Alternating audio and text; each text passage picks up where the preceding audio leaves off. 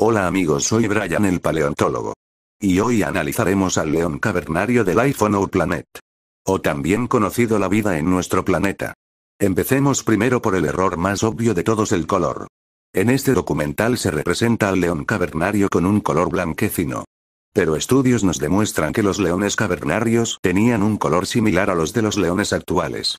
En el documental se nos muestra a los leones cazando en manada a un grupo de mamuts. Me temo que no hay evidencia suficiente para confirmar esto, pero si tomamos en cuenta los leones actuales, puede que hayan cazado sí en pequeños grupos, pero no en manada, pero bueno, es solo una teoría. Pero bueno, espero que hayan disfrutado el video, comenten, denle like y suscríbanse si les gustó. Yo me despido, adiós.